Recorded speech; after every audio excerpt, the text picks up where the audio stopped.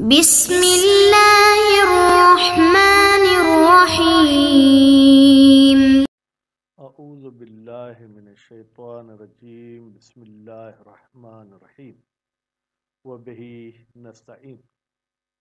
हमारी गुफ्तगु लम्हा चहारुम के किताबुल वकालत में।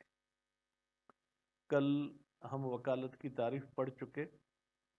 और वकालत के ईजाब कबूल के अल्फाज भी बता चुके। आज के दर्स का उन्वान ये है कि अगर किसी शख्स को बय में वकील किया जाता है तो ये इतलाक, यानी मुतलक उसमें कोई कैद हमने नहीं लगाया कि कितनी कीमत में बेचना है। तो इस बंदे को कितनी कीमत में बेचना है? आया अपनी मर्ज़ी की कीमत लगाएगा या ऐसी कीमत जो मुवक्किल के लिए ज़्यादा फ़ायदेमंद हो, उसमें बेचेगा। फिर कीमतें भी मुख्तलिफ़ किस्म के पैसे आपके मुल्क में राइज हैं। कौन से पैसे के साथ बेचेगा? ये पहला उन्वान है। और दूसरा उन्वान ये है कि कौन सी चीज़ों में, कौन से उमूर में आप किसी को वकील बना सकते हैं? आया, वकील आप हर काम में बना सकते हैं। या जायज़ काम में बना सकते हैं, वाजिब काम में बना सकते हैं, इबादत में वकील बना सकते हैं मामलात में वकील बना सकते हैं तो ये दो उन्वान आप अपने जहन में रखें इन इबारत में इनकी। व इतलाकुल वकालत फिल बय बय में अगर वकालत मुतलक हो, यानी उसमें मुवक्किल ने कोई रकम वगैरह मुन नहीं की है, यकतदी, ये इतलाक तकाजा करता है अलबई बेसमन मिसल, कि आप इस चीज़ को बेचें उस कीमत के साथ जो इस जैसी चीज़ों की होती है। मसलन आम मंडी में हम मौलवी हैं तो किताब की मिसाल देते हैं। लुमा की किताब पाँच सौ रुपये में बिकती है। मैंने भी आपको वकील किया कि भाई ये लुमा की किताब बेच कर आए और ऐसे ही नुस्खे उसी जगह के छपे हुए पाँच सौ में बिकते हैं तो आपको भी पाँच सौ में बेचनी है। इल्ला बेनुकसान अन हो। हाँ समनुल मिसल से कुछ कम में भी बेचना चाहें तो बेच सकते यू तसाम हो बेमिसल ही। इतना कम है कि उसको बर्दाश्त किया जा सकता है आदतन उर्फ़ में। कदर हमिन फीमियातिन मसलन सौ की बेचनी थी, आपने निन्यानवे में बेच दी तो एक रुपए के कम होने से कोई ख़ास फ़र्क नहीं पड़ता है। एक बात। दूसरी बात, व वजूद बाज लिन ले अजियत मिन हो।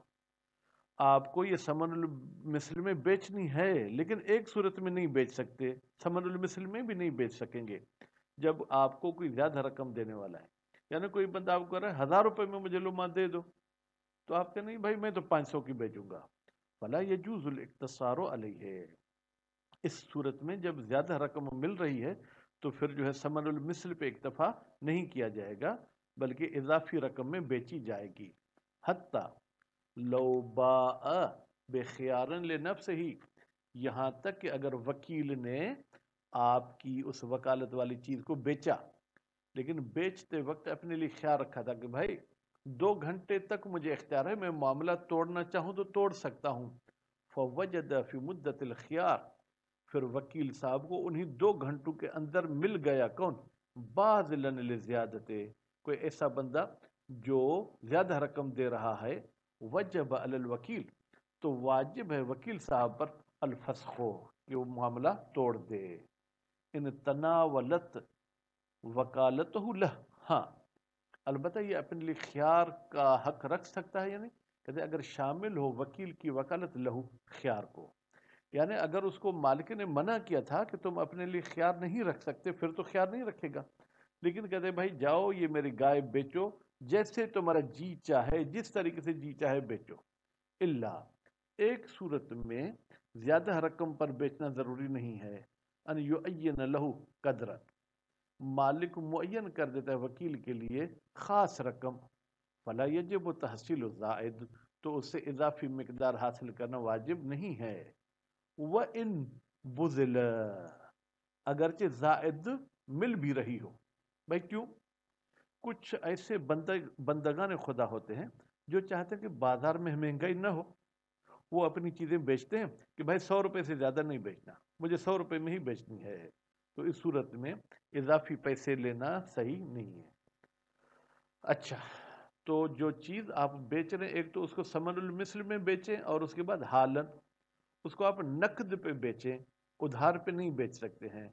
फला यजूज हो बस बेचना जायज़ नहीं है। बिलमुअज्जल उधार पर। मुतलकन मुतलकन से मुराद है, न समनुल मिस्र में बेच सकते हैं, न समनुल मिस्र से ज़्यादा में। क्योंकि उधार पे कीमत ज़्यादा मिलती है, फिर भी आपको उधार पर बेचने का हक नहीं है। ये जनाब दूसरी चीज़ बेचने की दूसरी शर्त कह लें बेनकदिल बलद। और आप जो चीज़ बेच रहे हैं, उसमें रकम और कीमत वही लें जो आपके उस शहर में राइज रकम है। फ़ैन इतहद तयन अगर हमारे शहर में एक ही किस्म के पैसे चलते हैं तयन फिर तो वही पैसे मुन हो गए। फ़ैन तद्द लेकिन अगर आपके शहर में मुख्तलिफ़ किस्म की जो है करेंसी चलती है मतलब जो बॉर्डर वाले शहर होते हैं, उसमें हमारा बॉर्डर अगर अफ़गानिस्तान के साथ मिलता है तो उसमें पाकिस्तानी पैसे भी चलते हैं, अफ़गानी पैसे भी। ईरान के साथ हमारा बॉर्डर मिलता है उसमें ईरानी पैसे भी चलते हैं, पाकिस्तानी पैसे भी चलते हैं। चाइना के साथ हमारा बॉर्डर मिलता है तो उसमें पाकिस्तानी पैसे भी चलते हैं, चाइना वाले पैसे भी चलते हैं। भारत वाली मुझे पता नहीं है कि वो बॉर्डर खुला है या नहीं, वहाँ बहरल दोनों करेंसियाँ चलती होंगी। फ़िन तद्द अगर करेंसी मुतद हो बा अबिल अगलब तो बेचेगा उस करेंसी में जो वहाँ अक्सर चल रही है। फ़िन तसावत नकूद अगर तमाम करेंसियाँ मुसावी हों बा अबिल अनफ़ा तो ये बेचेगा उस करेंसी में जो ज़्यादा नफ़े वाली हो मुवक्किल साहब के लिए फ़िन इस्तवत नफ़अन, अगर तमाम करेंसियाँ नफ़े में मुसावी हैं, तखैर तो वकील साहब को इख्तियार है, जिस करेंसी में बेचना चाहे वो बेच सकता है। वक्जा तोकिल फ़िशरा यहाँ तक तो था कि उसको वकील बनाया गया था बेचने में। अब अगर उसको हम वकील बनाते कि कोई चीज़ ख़रीद कर ले आओ तो यकतज़ी है बेसमन मिसल। ये ख़रीदारी की वकालत तकाजा करती है, ख़रीदारी की बेसमन मिसल कि ये चीज़ जिस रकम में ख़रीदी जा रही आप भी उसी रकम में ख़रीदें। मैंने आपको कहा कि भाई जाएँ, खरबूज, तरबूज ले आए, मेरे लिए ख़रीद के लिए वो एक सौ रुपये का बिक रहा है तो अभी एक सौ रुपये में ही खरीदेंगे। वलो खालफ मकतज़ाहुल इतलाक व तनसीस अगर वकील साहब मुखालफत करते हैं उन बातों की, जिन बातों की इतलाक तकाजा करता है। मसलन, इतलाक ने कहा कि आपको बे समन के साथ बेचनी है। इतलाक ने तकाजा किया कि आपको नकद में बेचनी है, लेकिन आपने उधार पे बेच दी। वह तनसीस, या जो मुवक्किल ने मुन कर दिया था कि भाई ऐसे ख़रीदारी करनी, ऐसे बेचनी, आपने उसकी मुखालफत की। फजूली तो ये वकील फजूली हो जाएगा। यानी इसने जो ख़रीदारी की है, वो भी वकालत के उनवान से नहीं है। जो बेचा है, वो भी वकालत के उनवान से नहीं है, बल्कि यह तवक़ बई उलवकील व शरा उलवकील इस वकील का बेचना और ख़रीदना, ये मुतवक़ है, अला इजाज़त मालिक मालिक की इजाज़त पर। क्योंकि हम पिछले दरसों में पढ़ कर आए थे इजारा में और इशारतन कि फजूली का मामला मालिक की इजाज़त पर मुतवक़ होता है। अब यहाँ तक जो है, जनाब पहली जो हमारा पहला मौजू था वो ख़त्म हो गया। वह इन वकालत बेतहकीक वकालत सही है फ़ी मा उन उमूर में ला यतअल्लक गरज शार शार की गरज ताल्लुक नहीं रखती बेइका ही इका ही की ज़मीर माँ की तरफ़ जाएगी। वो काम वाक़ हो, मैंने मुबाशरन बेआन किसी ख़ास बंदे से। तो उनमें वकालत हो सकती है। यानी शार ने कैद नहीं लगाई कि ये काम जैद करे या बकर करे, कल इतके मसलन, बंदे को आज़ाद करना, मेरा बंदा है, मैं उसको आज़ाद करना चाहता हूँ तो शार ने ये मुझे पाबंद नहीं बनाया कि तुम खुद कहो, अंत हर्रन बल्कि तुम अपने किसी बंदे को वकील बना, जाओ मेरे फला अब्द को जो है, क्या है वो तुम आज़ाद कर दो। फ़िन गरद शार फिल इतक, बेतहकीक शार की गरज इतक में क्या है? फ़क व रकबा, वो जो है क्या है, रकबा, यानी उसकी आज़ादी करनी है उस बंदे की अबदियत से। सवा उन अहदसहुल मालिक अम गैर चाहे उस इतक को ईजाद करे मालिक, चाहे उसको ईजाद करे गैर मालिक। और इसी तरीके से वह तलाक है। कोई बंदा अपनी बीवी को तलाक देना चाहता है फ़िन गरज शार तो शारे की गरज उस तलाक से क्या रफ जवजियत कि इस मर्द और औरत के दरमियान जवजियत का रिश्ता ख़त्म हो जाए। कजालिक, चाहे वो रिश्ता ख़त्म शोहर करे या शोहर का वकील करे। वह मिसलो निकाह हो।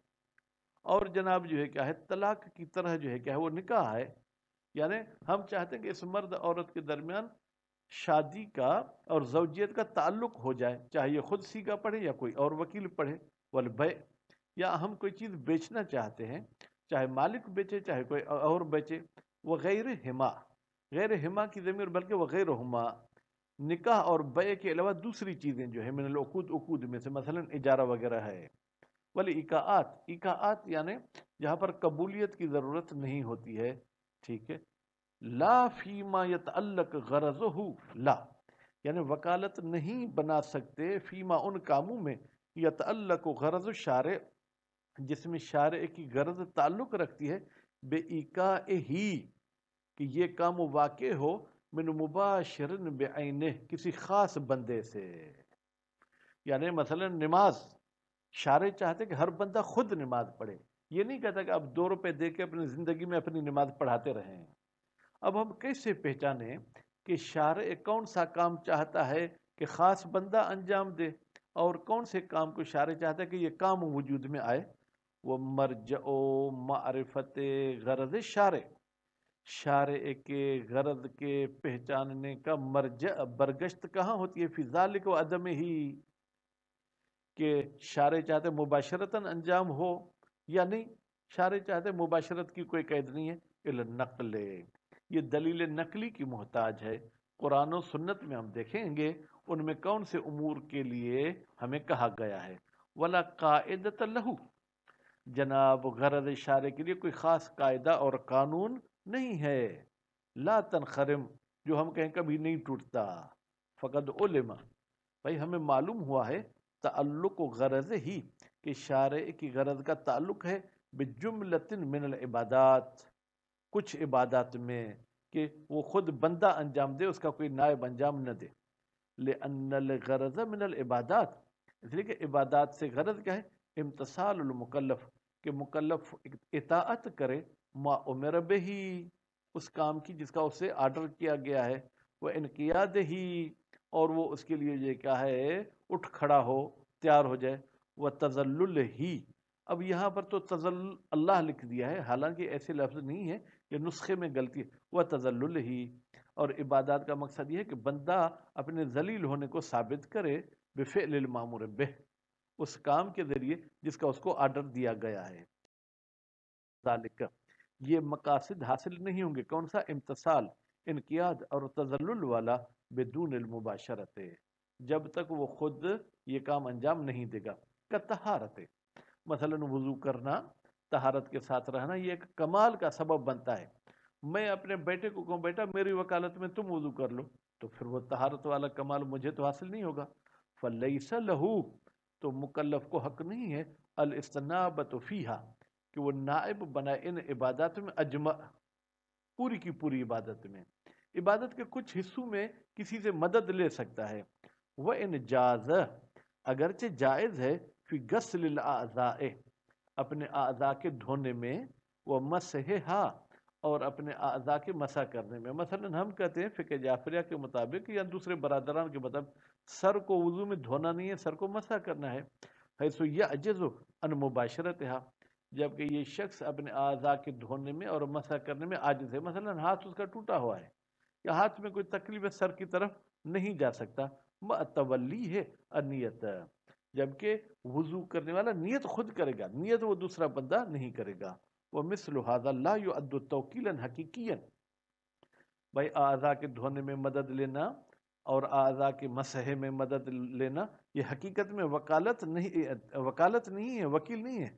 वह मिन इसी वकालत न होने की वजह से यक ओ, ये मदद लेना वाकई होती है। मिमन ऐसे बंदे से भी, ला यजूज तोकिल हो जिसको वकील बनाना जायज़ नहीं है, फिर भी हम उसको कह सकते हैं कि वज़ू में मेरी मदद करो। कल मजनून, जैसे कोई बंदा पागल है, हम उसे कहते हैं, भाई ज़रा पानी मेरे हाथ पे डालो।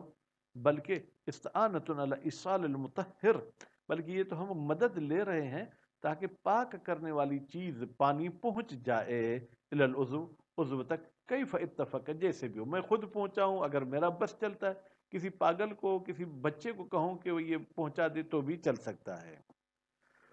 खूब कतहारत व सलात वाजिबत, और इसी तरीके से वाजिब नमाज़ में भी आप किसी को वकील नहीं बना सकते हैं फ़ी हाल हयात। जब तक आप ज़िंदा हैं, फला युस्तनाब फिया बस नमाज़ में नाइब नहीं लिया जाएगा मुतलकन। मुतलकन का मुराद क्या है? हम ये कह सकते हैं, नमाज़ कसर हो या नमाज़ तमाम हो, मुतलकन का हम सेहतमंद हों या हम मरीज़ हों, इल्ला। सिर्फ़ एक नमाज़ की इजाज़त है, रकअत तवाफ तवाफ की दो रक आते हैं कब? है सो यजूज इस्तनाबतुल हय फिल हज्जुल वाजिब। जब सही हो कि एक ज़िंदा बंदा अपने वाजिब हज के लिए किसी को नायब बनाए। मसलन एक ज़िंदा है, लेकिन वो जिस्मानी ताकत नहीं रखता हज की। वो दूसरे को कहते, जाओ मेरी तरफ़ से हज करके आओ। जब उसका नायब हज करेगा तो फिर जो है लाजमी तवाफ भी करेगा और दो रकात तवाफ की भी इसी ज़िंदा की तरफ़ से पढ़ेगा। और फीमा खासा, या पूरे हज में आप किसी को अपना वकील नहीं बनाते, सिर्फ़ दो रकात तवाफ में आप किसी को अपना नायब बनाते हैं। अलाबाजिल वजूह कुछ सूरतों में।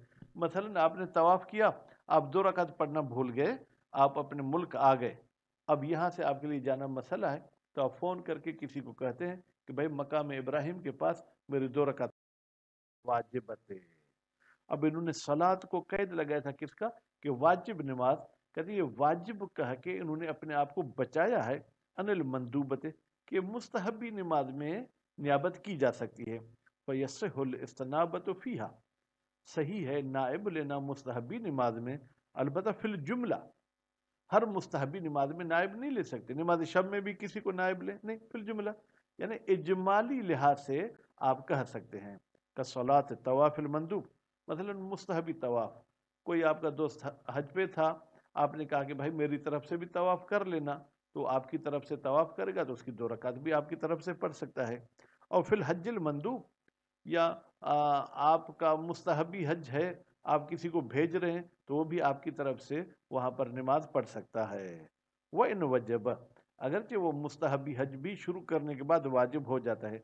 वह सलात ज़ियारत आप किसी बंदे को मौला हुसैन सलाम की ज़्यारत पे भेजते हैं अपना नायब करके तो जब वो ज़्यारत पड़ेगा तो दो रकात नमाज़ भी आपकी तरफ़ से पढ़ सकता है।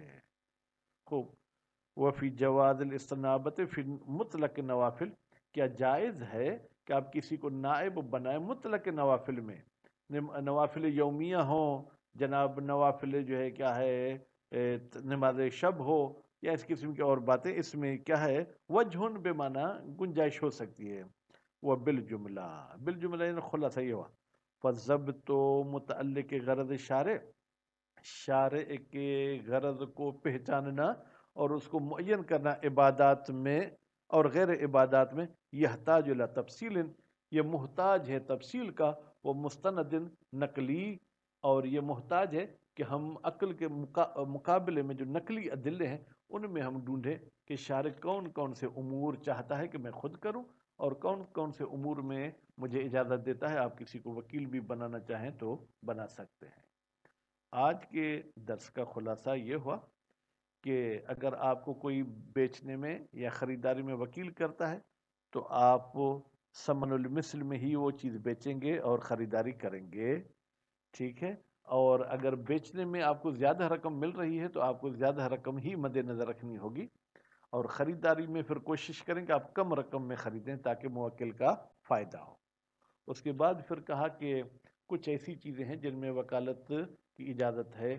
तलाक देने में जनाब, निकाह पढ़ाने में, बय में और कुछ ऐसी चीज़ें हैं जिनमें वकालत की इजाज़त नहीं है, जैसे तहारत है और वाजिब नमाज़ है। अब आपसे सवाल ये है कि नमाज़ को वाजिब की कैद क्यों लगाई और कौन सी मुस्तहबी नमाजें हैं जिनमें नियाबत की इजाज़त है और इस किताब में उनको ज़िक्र किया गया है? वसल्ला महमद व महमद